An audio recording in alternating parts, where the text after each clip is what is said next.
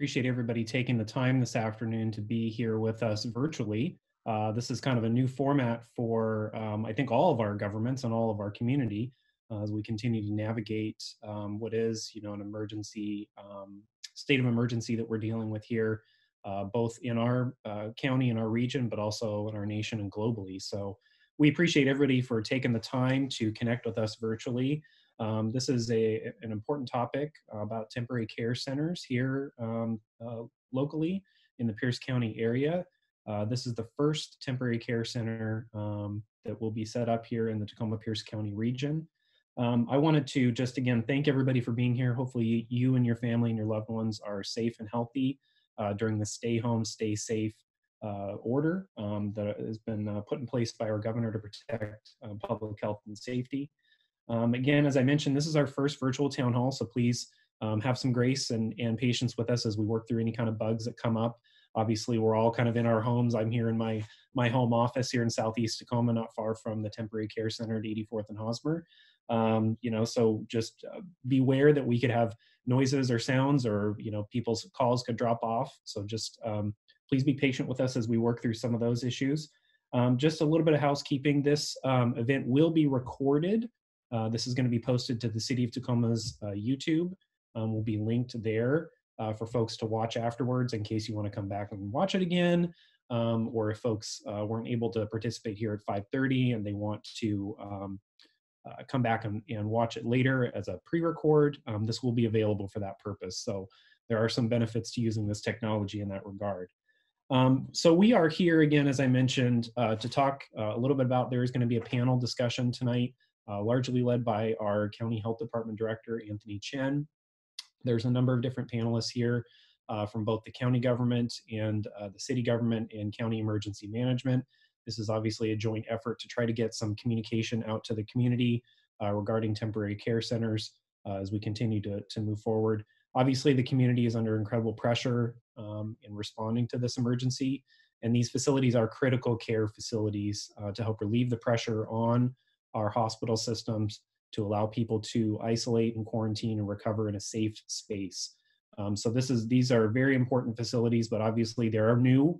And I think when we've sent out the communication uh, previously, there's been quite a few questions, and that's why uh, some of the elected leadership here in the county, um, including uh, County Council Member Marty Campbell, uh, fellow City Council Member Catherine Ushka, uh, who serves as the chair of the Board of Health, uh, are on the call, as well as folks from our, our health department and our county emergency management. So we'll be hearing from uh, the subject matter experts tonight, as well as our elected leadership on these facilities.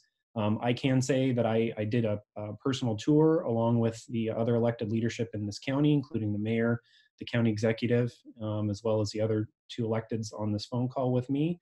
Um, and I'm very confident that this facility is going to serve the community well, is going to be well managed, and is going to run smoothly. Um, I feel very confident in that after having gone through the facility and, and seen the operation and have some of the questions that you've relayed to me and relayed to other elected officials that, that we've heard. Um, and I think we'll hear that stuff tonight. Uh, we'll hear that feedback again tonight. So um, I'm going to go ahead and hand off the microphone at this point to Councilmember Catherine Ushka. She represents District Number Four um, in the city, which is the South End and East Side. Again, she is also the chair of the Board of Health. Um, so she serves an important role here in terms of leadership with our Department of Health. So um, again, thank you very much. I hope you and your loved ones are safe and healthy and, and um, protected during this time.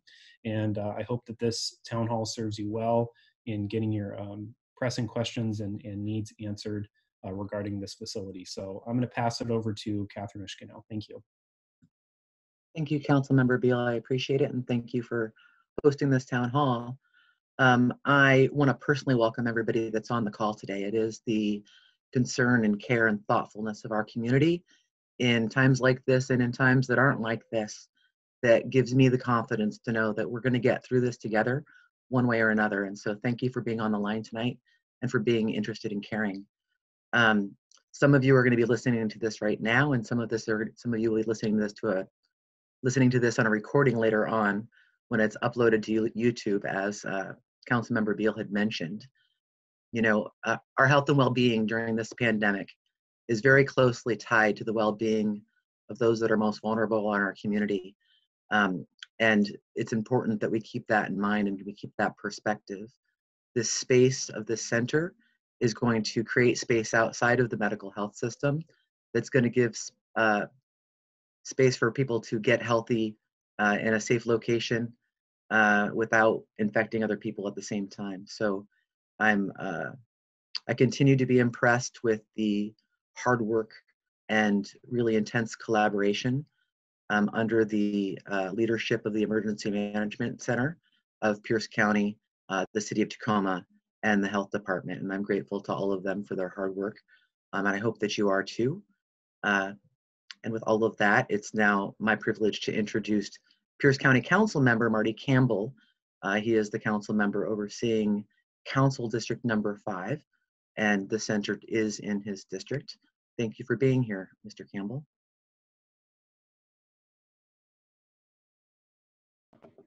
Thank you, Chair Ushka. Uh, and thank you, Councilmember Beale, for your work, leadership, helping get this brought together, and uh, Chair Ushka, your work on the Tacoma Pierce County Health Department. Uh, it's really times like this that we realize how important public health is, and we turn to our public health health board and the professionals within the public health department uh, to lead us through difficult times. Just a little bit about this town hall. The goal of tonight's town hall is to address some of the primary concerns that have been elevated from across the community. Tonight, we're going to do our best to answer many of these questions as possible. Uh, we'll have some presentations from Dr. Uh, Chen. We might follow up with a few questions.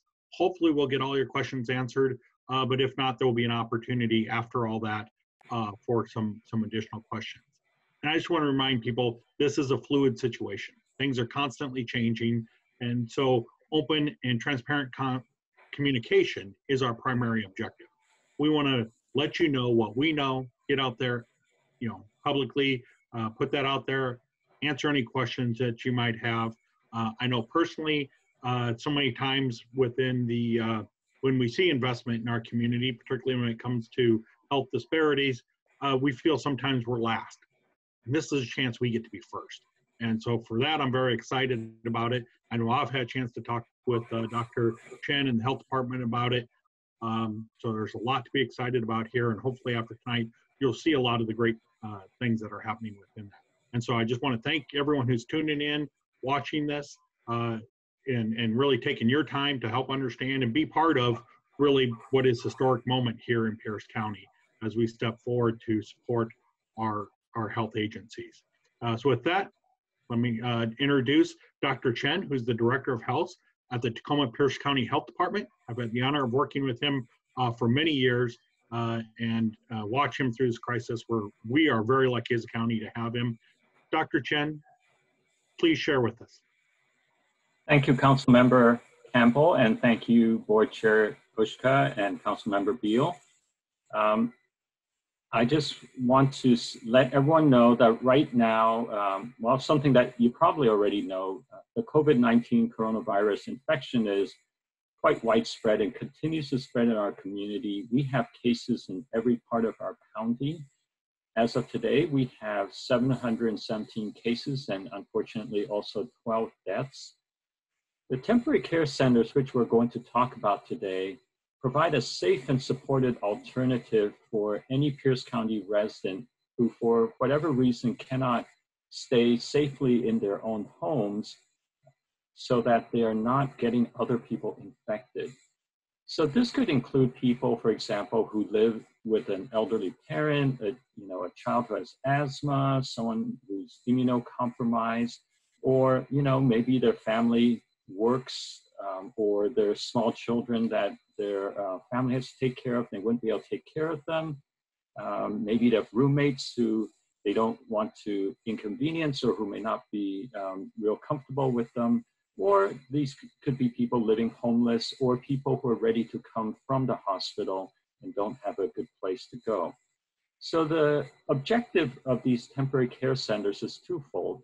One is for assessment, and um, let me explain some of the language that you will hear us use. So for assessment, we're talking about people who are in quarantine. These are people who are not currently sick, but they have been exposed um, and in close contact with someone with COVID-19. Now, we want to continue assess them, make sure they're doing okay. We want to see if they're going to get sick or not. But because we know sometimes they can start to shed virus before they are showing symptoms, we want them to stay out and away from the public for 14 days. So this certainly would be an opportunity if someone doesn't have a good place to go, that they could stay in the temporary care center. The other um, function that this will serve is for people who are in recovery. Um, so this is a situation where you'll hear us use the term isolation. Isolation is for people who are sick, they've tested positive for the virus, and you know, in this situation, they'll be for people who are having mild illness. And just to remind you, we, we feel that at least 80% of people who get this illness will have mild illness. They'll, they're not going to need hospital care. But like people in quarantine, we want them to remain isolated so that while they are shedding virus, they're not spreading the disease to other people. We know that assessment and recovery are effective and they, they are essential strategies so that we slow the spread of disease in the community and which will prevent people from getting sick and also will save lives. The temporary care center that we are talking about today will open very soon in South Tacoma at 84th and Hosmer. This has been a long planning process. Uh, the health department, Pierce County, the city of Tacoma, uh, many other partners um, came together came together because we know that there is a need right now and certainly if there are more cases that come along, there will be more uh, need in the future. I know the county executive is committed to making sure that there's access for any resident in Pierce County to have a place to go. Um, and conceptually, you know, something in East County, something in Central County, and something in West County. And as Council Member Campbell mentioned, um, this is going to be the first, and Tacoma is going to be leading the way. However, you know, this really belies a lot of the work that we've done with our partners in narrowing down different possible sites to, uh, to get to some of the best options. Many of the sites we looked at, and you know, the, the county looked at over 80, I think close to 100 sites. Many of the sites were places that the owners had volunteered to help the community by providing a site that could be used. And as Councilmember Campbell mentioned, um, in addition to helping uh, those who don't have a safe place to go, it also, um, the temporary care centers will help the healthcare systems. And I know that I was speaking the other day with one of the medical um, directors at a local hospital, and this was a couple weeks ago, and he said to me, um, right then he had, you know, six, seven, eight people who, who had gone better from COVID 19 and they were ready to be discharged, but he, he didn't have a good place for them to go. So when we opened this place, this would be a place where they could go and therefore, um, you know, allow the hospitals to open up and be available for the people who are sicker. So the way that this will work is that as part of this disease investigation, and certainly um, we will take referrals as well, for example, from the hospitals or, or maybe from family members um, or people directly. Health department staff will identify people who should stay in a temporary care center. So this is a free service for the people who need isolation and quarantine and cannot do so at their own home. The Pierce County Department of Emergency Management will cover the cost for food, lodging, and other needs when they're using the care center. The property owners we have worked with have been very helpful partners as we work to provide this important resource to help our communities during this unprecedented public health emergency. As part of the process, uh, we have also engaged people who live and work in the area to hear what their concerns are. Um, and before we had done that, of course, we had worked with law enforcement, uh, fire, local elected officials to hear what their concerns were. So I just want everyone to know that this has been a very thoughtful um, planning process. Um, and we just want to make sure that not only um, is it going to work, but it's going to work well for the community. So um, to clarify, the center is going to be a place where people can stay voluntarily We hope people who use it will see this as a step to protect themselves from COVID-19. It is also the neighborly thing to do to reduce community spread of the disease. For the Tacoma Pierce County Health Department, the health and well-being of all Pierce County residents is our priority. We thank everyone in the area for their consideration and understanding. Um, after this, um, this town hall meeting, we will also have um, well, actually, I, it, it is available now um, if you want to look at that, but certainly after the meeting, feel free to go to the web page on our website. That's www.tpchd.org slash COVID-19 temp care. So that's TPCHD as in Tacoma Pierce County Health Department.org slash COVID-19 T-E-M-P-C-A-R-E.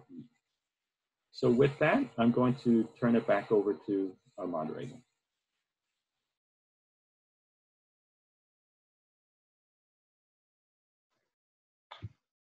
We're going to take a couple questions from council members first, and then we'll move into a Q&A.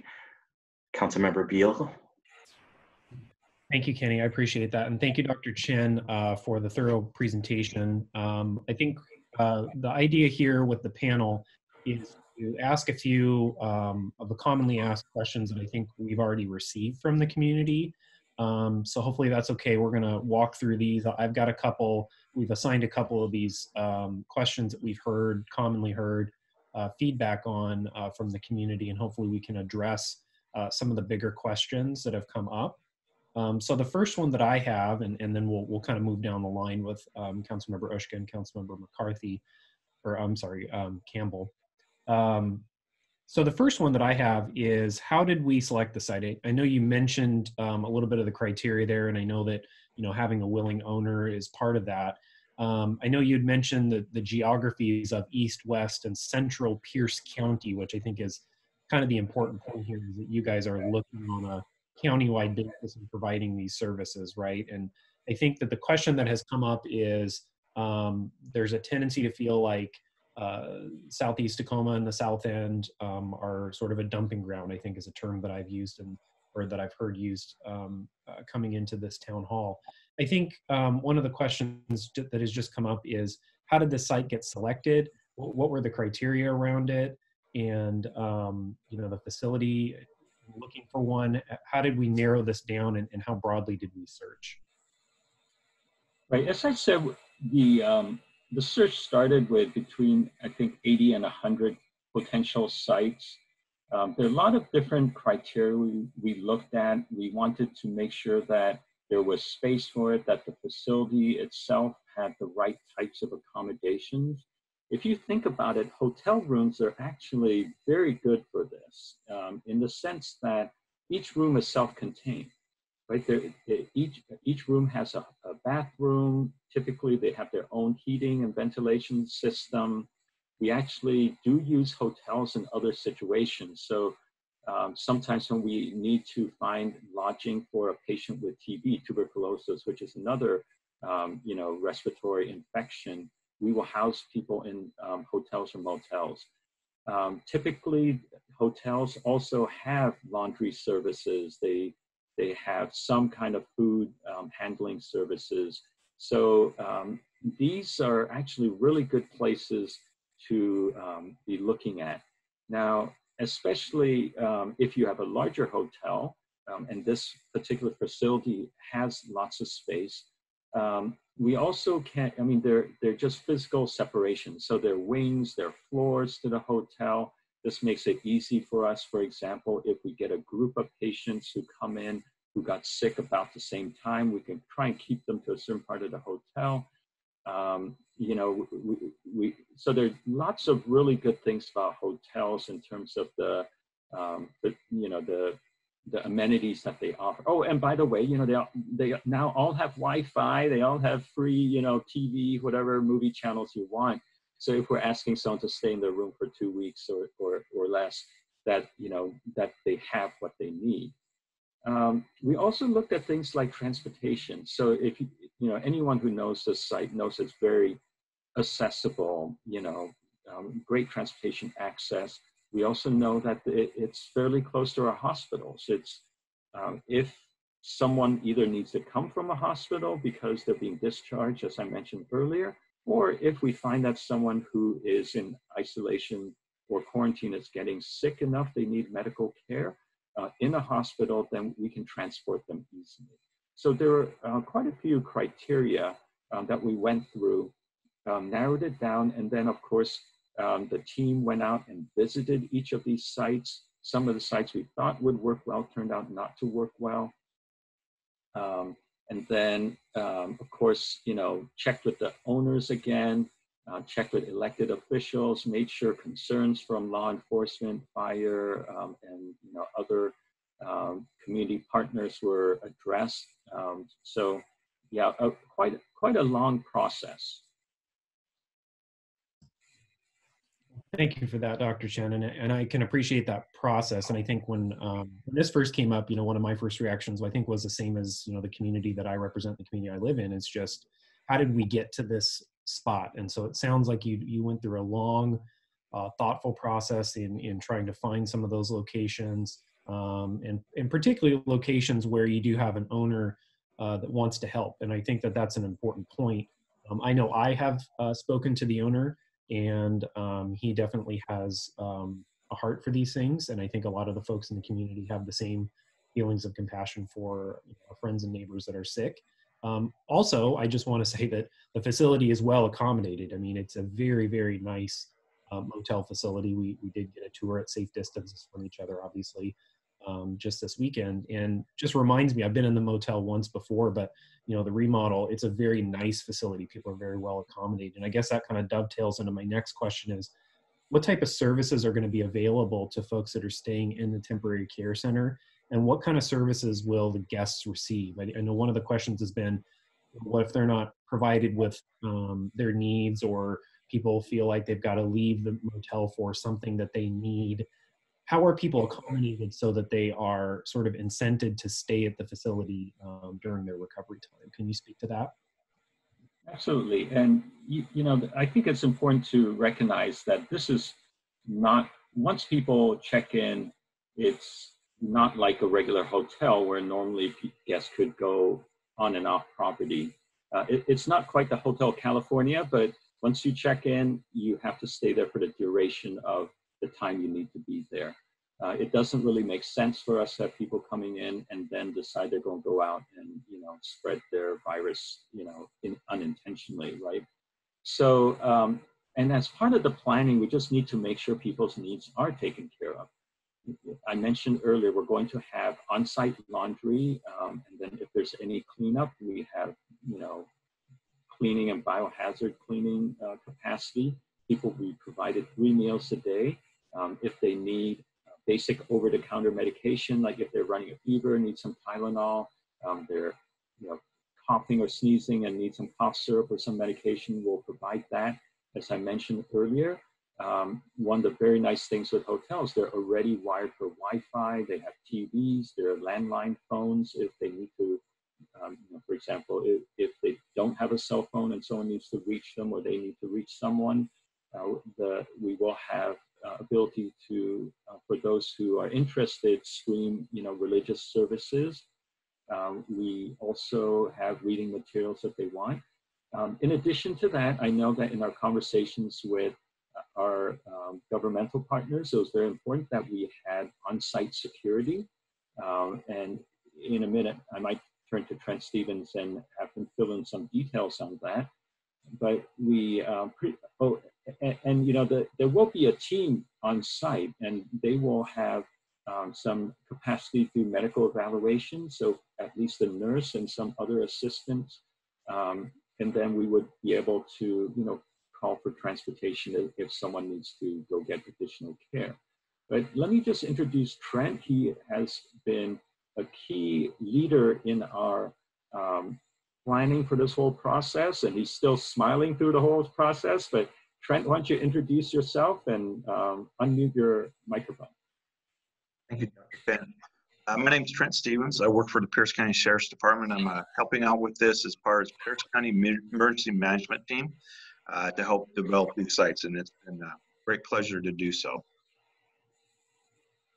So Dr. Chen talked a little bit about security. So um, what we've done is uh, want to make sure that the people, the residents who are, are there are safe and secure, as well as our community. So we've already contracted out with have um, security on site 24 hours a day, seven days a week.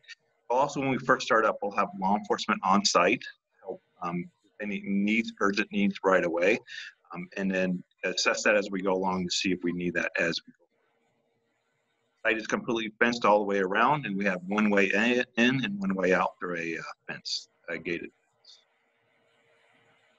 Thank you, Trent. Thank you, Trent, and thank you, Dr. Chen. I, I am really appreciative of um, uh, the answers to both of those questions. I think those are really key, and I, and I appreciate Trent. Um, he was the one who sort of escorted us through uh, the site the other day. I can say that the security the security is, is well um, established already. I was already intercepted by the time I tried to enter the site, and I think that that's going to be um, something that's key to um, answering some of the folks' questions about whether people are able to just come and go or people able to visit, and that's a very clear no. W would you say that's true, Trent? That's correct. Um, so while we're not going to be able to hold people against their will, we're going to encourage them to stay there as much as possible. Um, we want people to stay there, so that's why we're trying to provide as many services possible that we can. Um, and if somebody does decide they want to walk away, we're going to encourage them as much as we can to do that. But and when they do, we'll make sure the health department knows that the person's walking away, as well as local law enforcement and uh, the fire department know that this person uh, walked off. Thank you, Trent. So um, next I'm going to uh, pass uh, off the microphone, uh, the virtual microphone, to um, my counterpart, Catherine Ushka, who's the, the, again, the board chair of the health department. Um, her tremendous leadership on the health board, I think um, she can help us guide us through a couple more of these questions that I think have come up. So Catherine, take it away. Thank you, Chris. I appreciate it. Um, real quick, before I ask that question, in my opening comments, I meant to make sure that I acknowledged that the mayor of the city of Tacoma and my colleagues are also interested in paying attention. It wasn't feasible to, or, or reasonable to have them all on this call, but just so that you know, um, it's not just Chris and I from council that are leaning in and paying attention. It is the whole council. Um, with that in mind, another question that's received uh, quite frequently is what's the difference really between temporary care centers and temporary expansion shelters? Councilmember uh, Ushka, thank you for asking that question. Uh, what we're talking today about are temporary care centers. So these are places where people can go where they can be safe and supported while they observe isolation and quarantine. There's a separate conversation going on in that um, for the people living homeless, as you know, there are very few facilities for them in Pierce County. Just to give you an idea, um, my understanding is the Tacoma Rescue Mission can typically hold about 150, 160 people a night. However, if they were to observe the social distancing that we are encouraging right now, that capacity would be cut to about 50. So you may be um, aware that um, they have made an arrangement with Bellarmine um, to allow um, some of their usual clients to stay over there in the gymnasium. Um, however, we also need some um, facilities that have a little bit more um, services. So, for example, if someone were sick with um, COVID-19, we, we may want to have them isolated. You know, someone who is, uh, I mean, we've had cases in both Nativity House and at the rescue mission, um, and we want them to be able to be isolated or quarantined. So we are looking for resources for people living homeless. Now, some of them may be using this temporary care center, but we also recognize that some of the people living homeless have some um, challenges, right? So not everyone, but some of them have um, severe mental illness, or they may be struggling with a substance use disorder. And so people who work in the shelters typically are very skilled in managing those challenges. Um, so we do want to have some more specialized centers that will um, be catering to that population, and that would be uh, primarily working with the existing um, shelters and the um, agencies that work with um, people living homeless.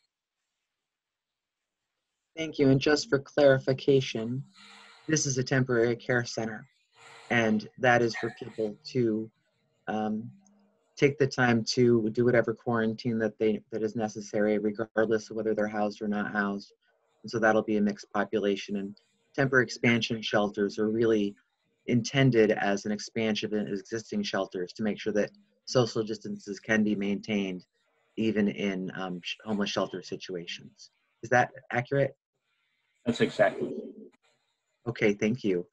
Another question that um, is commonly asked is what the policy will be at the care center for whether or not visitors will be allowed. Yes, thank you for that question. Um, you know, the whole point of this is to allow people to separate themselves from the public. Um, so we do not want visitors, and visitors will not be allowed at this center. Thank you for that, Dr. Chen. I'm going to go ahead and pass the virtual mic to Council Member Campbell, who's going to follow with the next question. Thank you, Council Member. Thank you, Chair Ushka. Um, I also want to, uh, uh, like you acknowledge that uh, the county executive uh, has been very engaged in this, and um, I'm certain that I have uh, a fellow member of the county council uh, watching this. We're going to watch it later, and because we're looking at how this could be across our entire county. So this is uh, a start, but it really is a county-wide issue. This would support the entire county. Uh, we're just fortunate uh, that for once, starting with us. So pretty excited about that. Um, and also just remind people this is a great time. Yeah, I got a couple, uh, hopefully quick, brief questions. So uh, if you have some questions that you've been thinking about, don't quite feel like they've been answered, go ahead and you know start typing those in so that we can have them ready for kind of a public Q&A.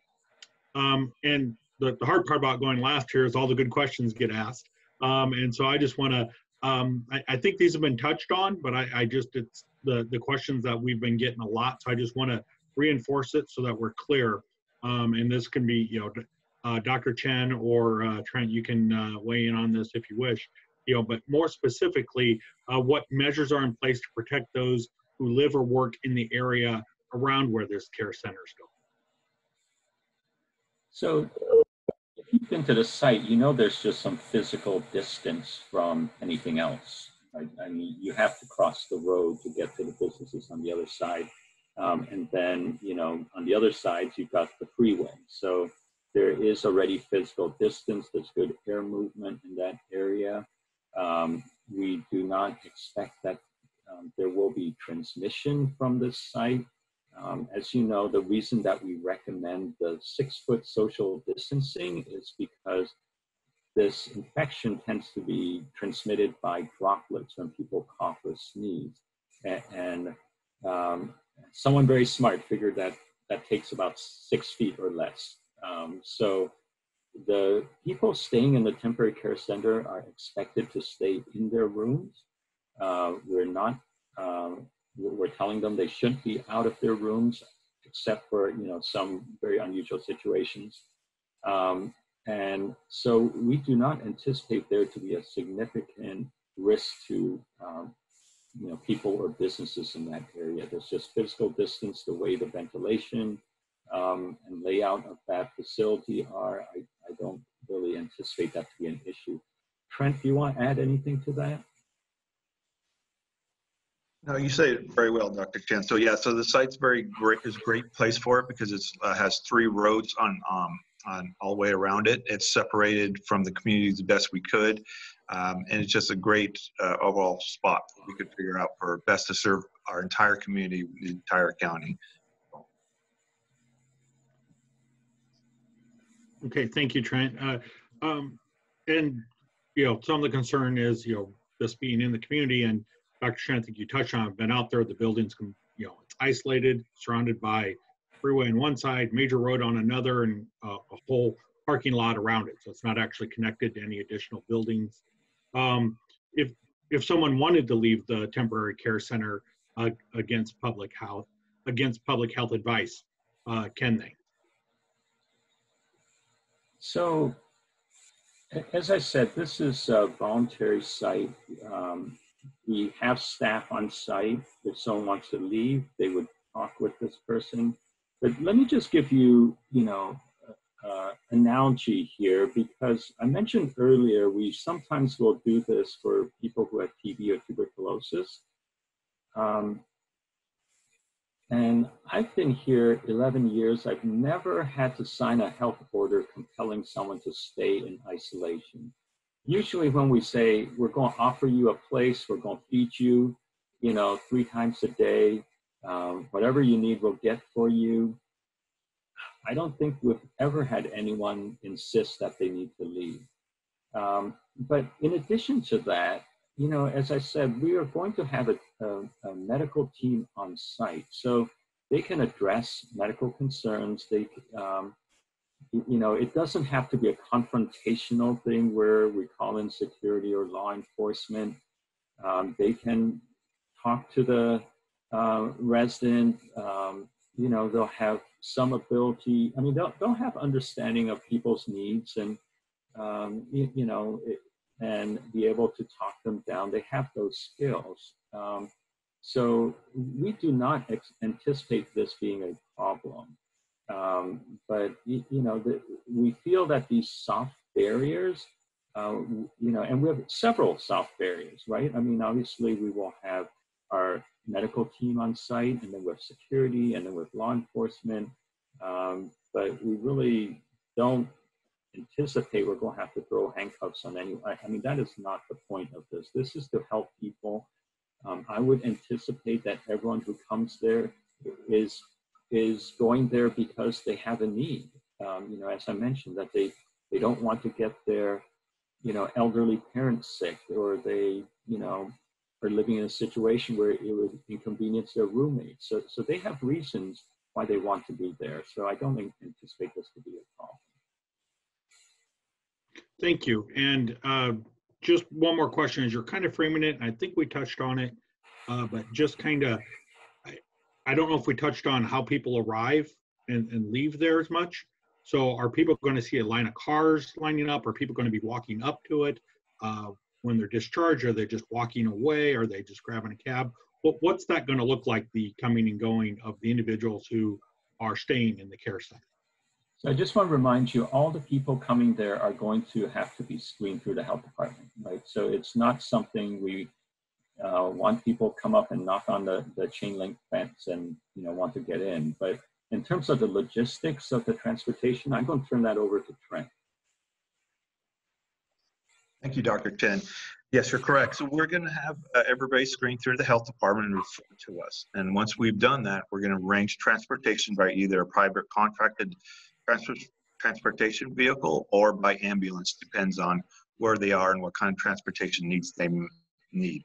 And once they become on site, we'll know they're coming. They'll be transported one at a time. They'll be met by our medical staff, and then they'll be uh, allowed to go to the room.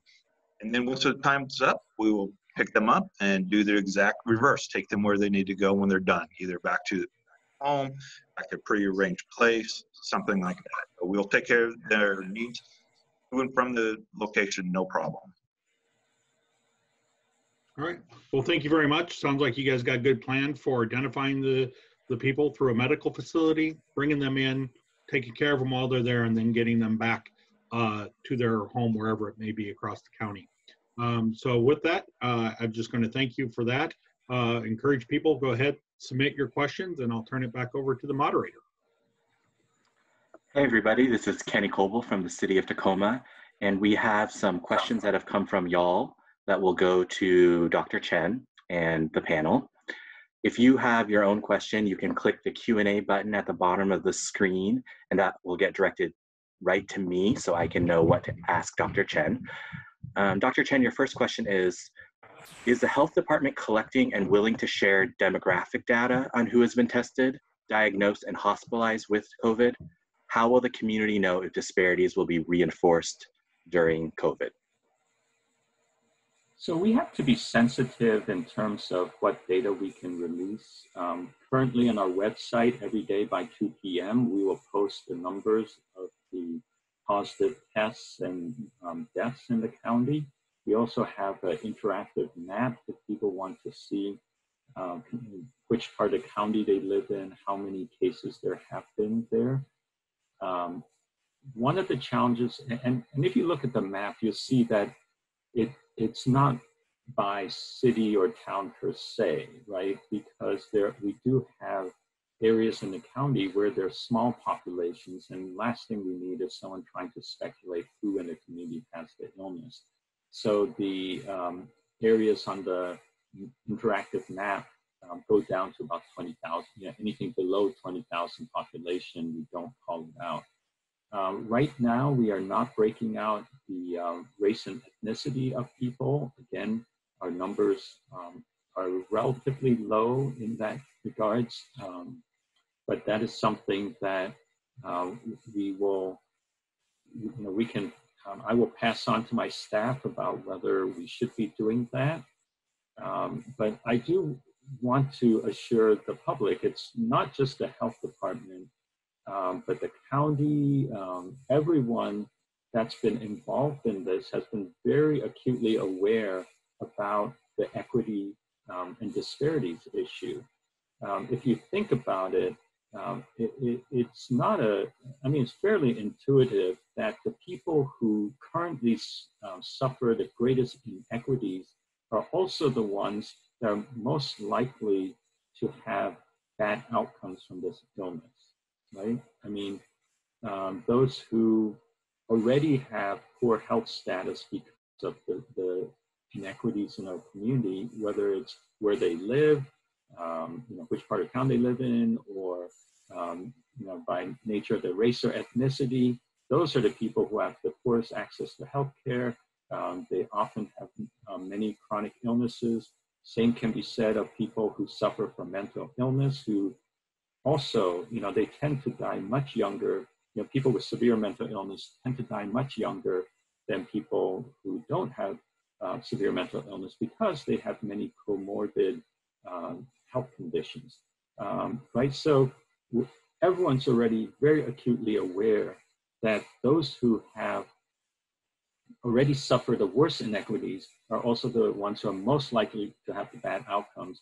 And because this doesn't discriminate, if we don't take care of that group of people, they're going to get everyone else infected as well, right? I mean, everyone could get infected in this situation. So I appreciate the question. I will um, ask my staff to see whether it's feasible for us to report um, racial ethnic data, but you have to remember that racial, when we talk about health disparities and health inequities, the biggest contributions to inequities is not racial ethnic, it's actually social, economic, and environmental factors.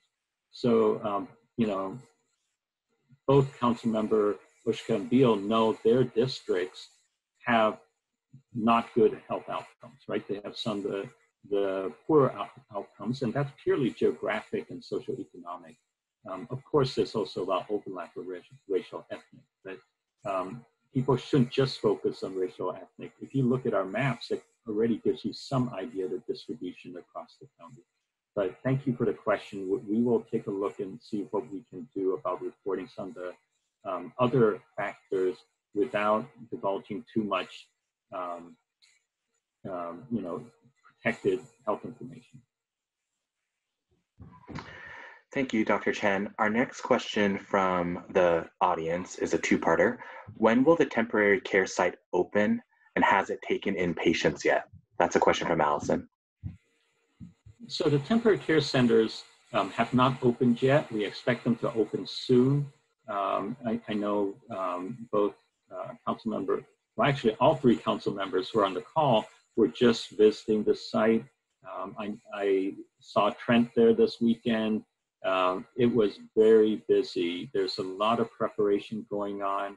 Um, you know, if, if, you haven't been by the site lately, as Trent mentioned, we now have a fence up around it. Um, there are trailers, there are, you know, all kinds of things now in the parking lot that were not there before. Um, inside the doors, we've been training. Um, if you remember, I said we're going to have teams on site. Um, so when I was there Sunday, they were doing a training of all the staff. So that was a combination of health department, um, you know, agency contracted staff, um, all kinds of different staff. So a lot of stuff going on, but we, we are hoping that we can get this open soon because the need is out there already. Uh, you know, you may have heard, for example, um, that some of our um, social service agencies in the community already are paying for hotel vouchers for people to stay in hotels because they don't have a good place to stay. Uh, we hope that when this opens up, it will make things so much easier for uh, both the people who need to use it as well as all our partners in the community. Thank you. Our next question is from John. Has the county done outreach to the surrounding community? And he wants you to know that regardless of what we think, people of all people, ethnic groups um, deserve to know. You're absolutely correct. Everyone deserves to know. I, I think um, you know, I do want to highlight what I said earlier about why the community heard at the time it did, which is that there, there was a lot of planning and engagement at other levels we had to do before we could even talk to the community about it. Um, but we have been working with a lot of community partners. Um, you know, I know Safe Streets has been a, a very important partner in this. Um, I, understand that we've also worked with the um, business association in the area. Uh, we have worked with all our elected officials, not just our city and county elected officials, but our state representatives, um, you know, our, our, legislators, as well as our congressional delegation have all been involved. And it wasn't just to inform them. I mean, we specifically had to ask of them to say, we need you to go engage your social networks, right? It's not just it's not a one-way message from the health department or the county to the community. We wanted to hear from the count, uh, from the residents in this area about what their concerns were. Very much as when we talked with the elected officials in, at each of these sites, it, it was hearing from them what they were concerned about. They often would give us some um, intelligence about the needs of that area or what the characteristics are of that area. So um, Trent, I know that's not your area because I think there was a different part of our incident command structure doing the community engagement, but um, did I leave anything out, Trent? I mean, I, I know there was quite an effort and Councilmember Beale, I know you were very involved in, in a lot of that. Did I leave anything out? I don't believe so, Dr. Chen. We've tried to reach out, best I know, for a lot of people to be aware of this uh, part of it. And just for my part regarding translation, we're making sure the staff and everybody's aware whose English is a second language. We're making sure they're trained, prepared using that. So we're taking in, you know, our uh, our population who we work with and that, as well if we take any people who are coming in as residents, we're going to take care of any translation needs they they um, they have. Thank you, Trent. We only have a few more questions left, so if people have more, please send them to me through the Q&A button. Dr. Chen, this next one is um, a, a, little off topic, but I still think you might know the answer. Um, do you know why the numbers for JBLM are no longer being shared? And do we have them? Right, so um, this was a decision that I understand the Department of Defense made so it not only impacts us and JBLM, but also impacts Kitsap and the naval station there. Um, my understanding is that um, they felt that there was a national security reason why they did not want to report that. Um, their, their numbers are small. Um, you know, it's a decision that they made. And so they're no longer um, being reported in our numbers.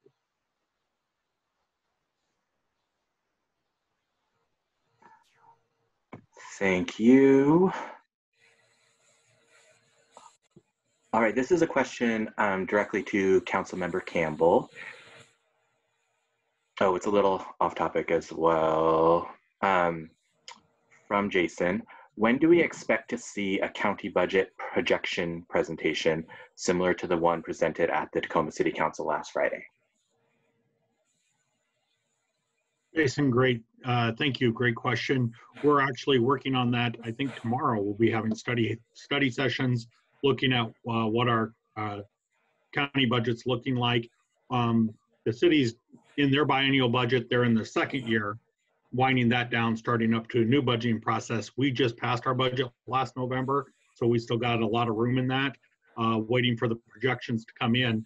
A lot of projections are going to be coming similar from the state level on down, and we're already looking at what we can begin doing to move stuff along and delay stuff to the second year to make sure that we have capacity uh, throughout the year. So a lot of that will be starting at uh, tomorrow's study session, and we have a meeting tomorrow at three. And then I think we'll actually have some special study sessions over the next couple weeks. Uh, part of it is we want to make sure that we're both getting on this early and making changes to our budget early, but not moving so quickly without getting all the data coming in. So thank you very much. Great question. Um, if anyone has an answer to this question um, from Bill, it's not quite on topic, but I think it's an important question. Um, asking why does Governor Inslee insist on having a scheduled date to lift the stay at home order, which is currently May 4th? Um, this question, uh, Bill believes it would be better to have no scheduled date and just say the order remains in effect until further notice to minimize the danger of false hopes and expectations. Does anyone have thoughts on that?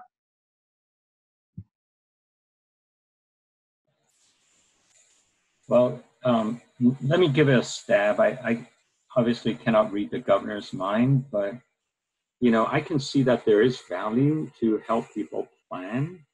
I know that some people were hoping that the order would be lifted sooner. Um, so this gives it gives a clear message that it's not going to be sooner. Right? I, I think that we have some um, good experts up at University of Washington who are doing projections on when they think this will peak and um, and then even after the peak of cases, we're going to need to wait a little bit of time to let it come down from the peak. Um, I, I, you know, the earlier number we had heard regarding school closures at the end of April, that was entirely because um, the OSPI knew that um, with spring breaks, the last spring break ended on right around April 26th. So that was a good time for parents to be to at least have in their head about when they should um, be doing that. Um, and then with the governor extending it, um, you know, the, it, it allows people to plan. So of course, what you're seeing is that at every point, the governor is going to be working with Department of Health to look at what's going on with the hospital admissions, the number of cases, the number of deaths, to see whether we can, um, you know, relax some of these restrictions. I think one of the other things that we're starting to plan for, and the Department of Health is starting to plan for, is how do we ease that? So the other day I was talking with the county executive, and he, he made the analogy that when, when we had to very quickly implement these um, restrictions, it was like flipping the lights. All of a sudden, you know, these businesses were closed. We, we weren't supposed to go out and so on and so forth. And as we ease it, we don't want to flip the switch back up because if we all of a sudden everyone stopped social distancing and went around did everything they used to, they're going to expose people again. So if you want to extend the analogies, how are we going to turn the dimmer back up, right? To go from the switch being off to, you know, gradually a little bit more, and then what's the next notch? What's, you know, so we don't know exactly how we're going to do that. We're, we're working on the planning, but I think it does help people to have a time frame. Um, you, know, certainly, certainly for the kids, I mean, some, some of the kids have a hard time waiting till 10 minutes later, right? But, um, you, you know, hopefully adults can wait longer than that, but it, it's still important for people to be able to have in their mind um, that they can expect that um, they're going to have to, you know, undergo these restrictions for this amount of time. Um, and then that, that gives those of us who need to plan for the transition also a time frame that we need to have something that we can tell the public or have information to inform the policymakers as to when we, you know, turn up the dimmer or lift the restrictions. Thank you, Dr. Chen. We have two more questions, and then I'm going to invite county and council members and you um, to share any final thoughts. I'll give you maybe one or two minutes each. Um, so the last, second to last question um, from Jay says, The area is full of folks who are suffering with drugs and street workers and a lot of homelessness. How do we keep them safe?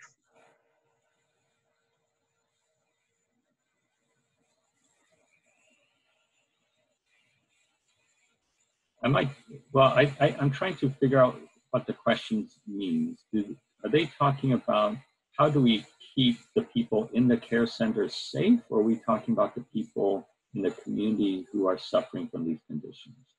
Um, if it's in, if we're talking about how do we keep the residents of the temporary care center safe, I think you heard Trent earlier describe this, the steps we've taken. Uh, there really is only one point of access to that property now that it's fenced off.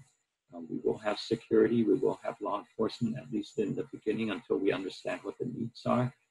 Um, and in terms of their um, you know, medical needs, or if any of the people who are staying in the center are people who are suffering from substance abuse, um, you know, we will have services available for them. But in terms of the people who are not in the temporary care center, uh, that's probably something which our council members can address better. I can jump in here a little bit, um, we did discuss this a little bit while we were on the tour, and I appreciate the question. I think that the question, and I, I wish the commenter could let me know if I'm right or not, um, is more about the people that are in the surrounding area and if people leave the care center who could have, um, it could still be infectious, um, who aren't housed. How are we protecting them?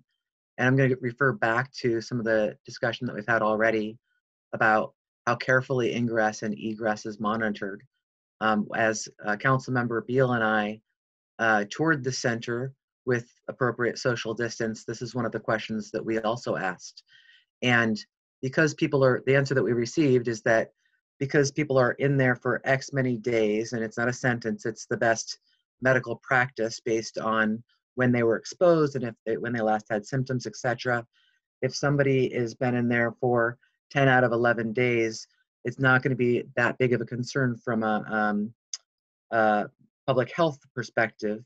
But if somebody's choosing to leave and walk away and not take transportation back, and they're infectious, that's something that uh, Mr. Turner and Dr. Chen and public health will monitor and track, uh, just like they would anybody else in the community who's actively has the virus to make sure that we know what who, who's in contact and, and how to protect it. I, felt pretty confident. I'm going to look to my colleagues to, to nod their heads or not that the way that they have this system set up, it's it's pretty well organized. I, I don't I don't expect that people will just wander off into the community, and I think that that's a good question to ask, and it's one that I want you to know that all of all of us here have also asked, and feel pretty comfortable that the community will be reasonably safe under the limits that we have right now. And thank you, Chair Ushka, and I'll just reaffirm that.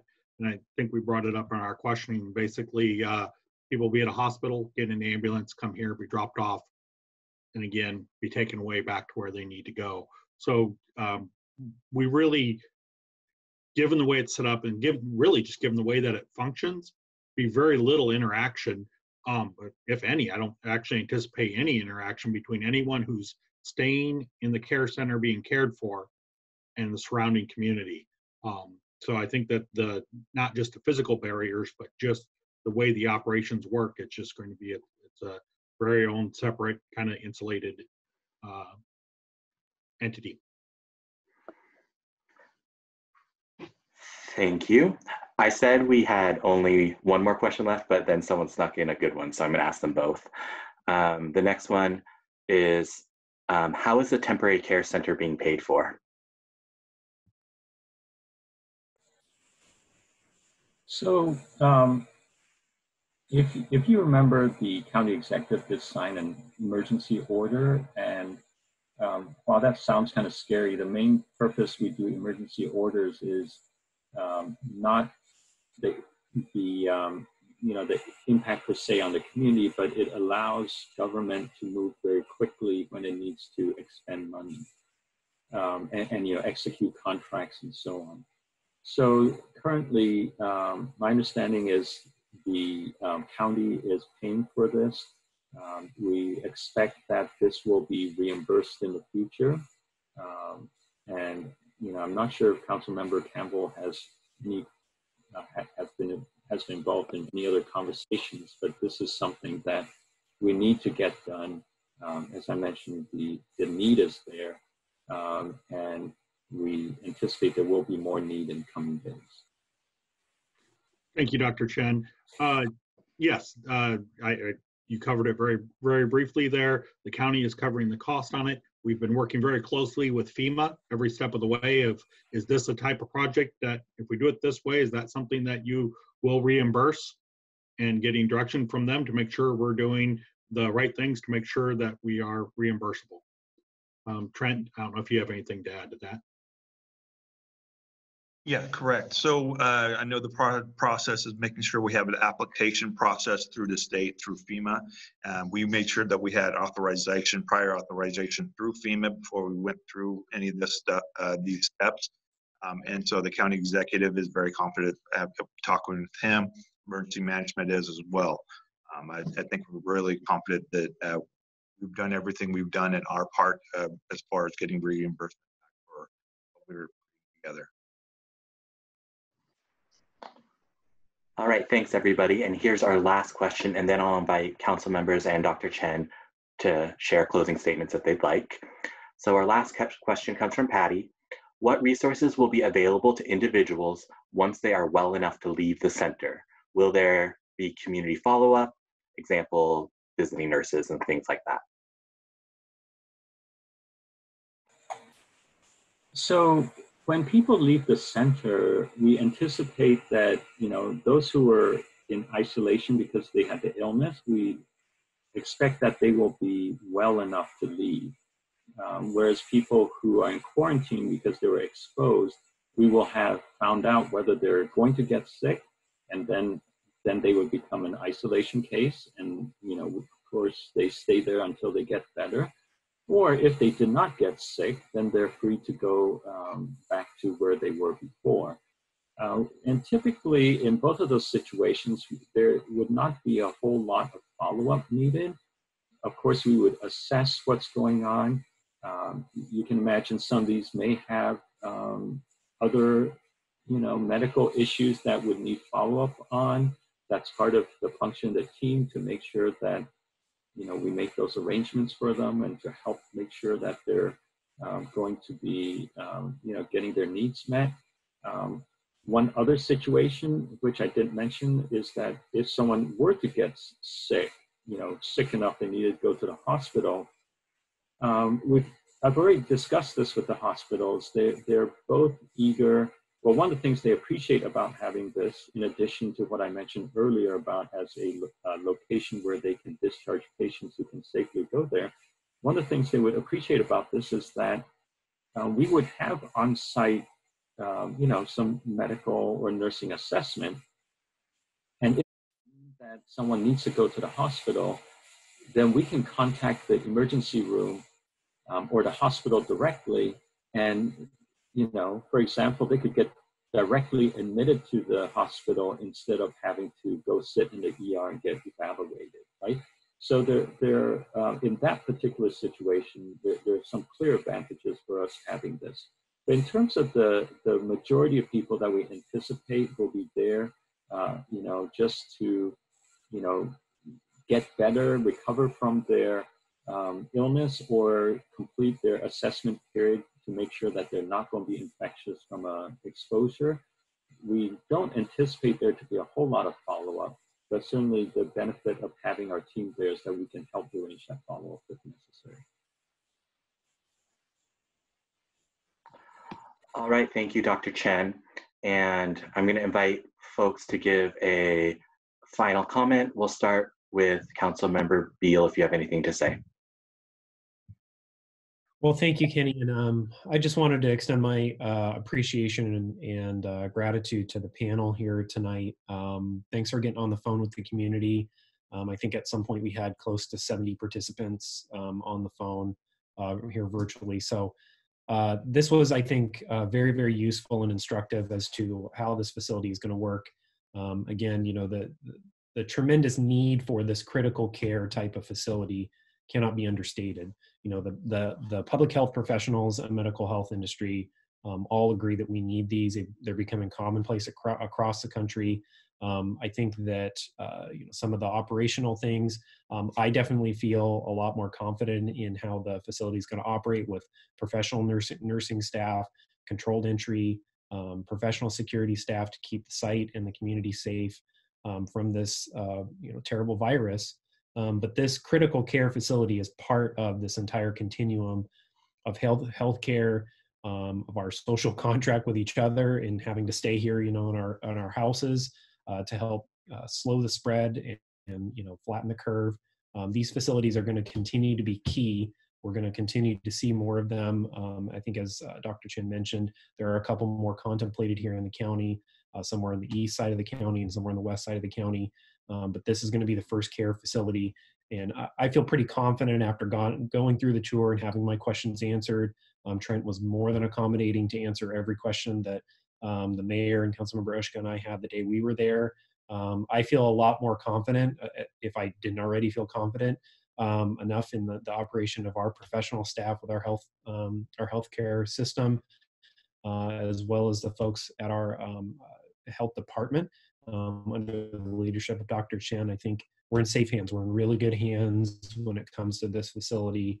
Um, and again, I feel really confident that this is going to work out pretty well. Um, I'm committed to making sure that we have transparency with the community um, as to how the operation is going. I know that the South End Neighborhood Council and the Southeast Tacoma Neighborhood Alliance is very interested in that. And so um, I'm committing to the community to continue to follow up and communicate what we know about the facility, how things are going. And I know Trent um, has committed to, uh, you know, making sure that we're checking the assumptions that we put in place when we opened it and continuing to adapt to make sure that this facility operates the way that um, it's being advertised and the way that we know is going to be best for the community. So um, again, I think we're in good hands, um, and I appreciate everybody's time here tonight. Um, hopefully, you're again you're you're staying at home and staying healthy and and keeping safe social distances when you have to go out just for the essential services only.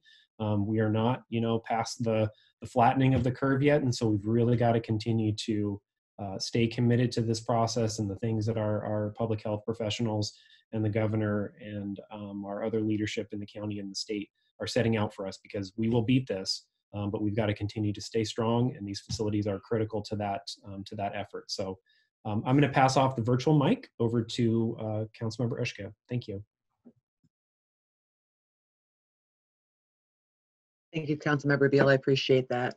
Um, I want to underscore the value of our public health system and all the people in emergency operations and how hard they're working um, to make sure that we have the information that we need. I mean, our, our, our curve is is more flattening for a reason, and it's because we've behaved differently than people in other places of, of the world. At least that's what we believe. And I and I say that question mark of that's what we believe because all of us have been experiencing this constant rate of change. We're living in a world that none of us have ever experienced before and using the best information that we have every given minute to make the best, most informed decision. And the rate of change has been phenomenal. Um, and people deal with it differently. And, and I say that to you because I'm going to ask you to not just wash your hands with your, your favorite song and keep social distancing and uh, lean into the facts and figures, but to please treat everybody that you meet with compassion. You don't know where they are in this, and to treat yourself with compassion as we go through this. Um, it's a little bit surreal for a lot of us. Some days are really slow mo, and some days go a million miles an hour. Um, and that's and we're just going to keep informing people and doing the best we can. Almost everything that we talked about tonight, by the way, is on the frequently asked questions page at the Tacoma Pierce County Health Department COVID-19 page. And it might be coronavirus um, page, but somebody will correct me before we're done here. Um, if you have not already gone to that page and checked it out, please do. It's probably one of the best in the nation in terms of the clarity and the layout of the information and I'm not just saying that because I'm the chair of the health department. I had nothing to do with its production. I'm just glad it's there. Um, when you call in and, and ask questions, those call center staff are making sure that those FAQs are getting updated. I tell you that because again, there's things that we said tonight that might be different tomorrow.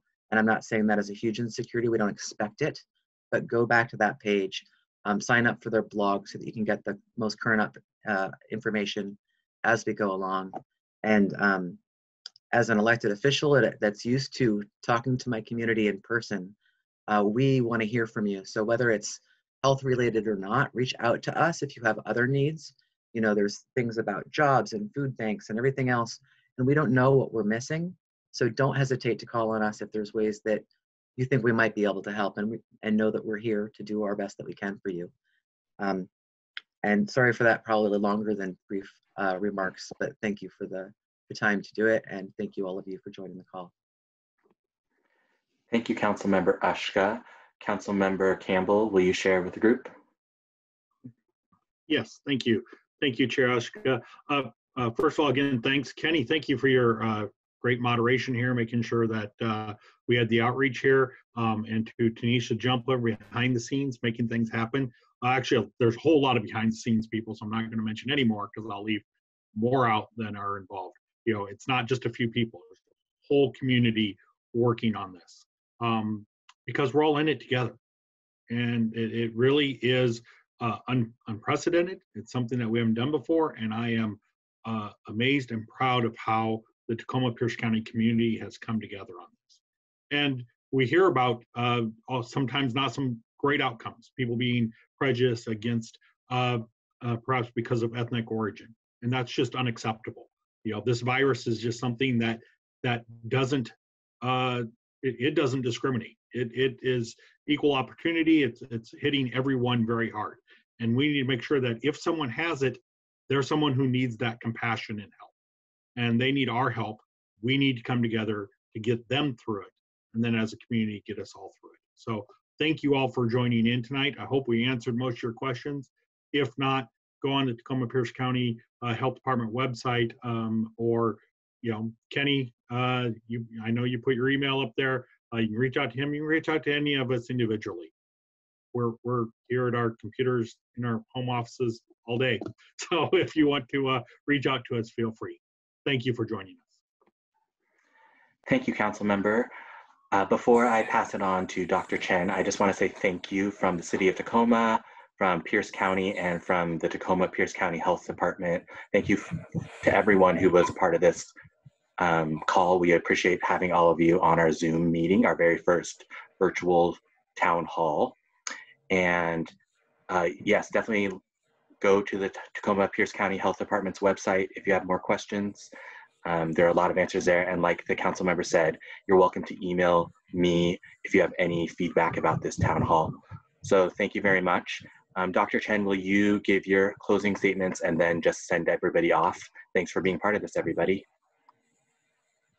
I just want to echo, you know, my thanks for everyone in the community pitching in to do this. It's everything from people staying at home, washing their hands, you know, covering their cough, to our partners um, like Trent, who are in the Emergency Operations Center with us, to our healthcare partners who are on the front lines dealing with um, some of the sickest people in the community, um, to the operators and staff in our nursing and long-term care facilities who are working really hard to try and take care of the a very vulnerable population.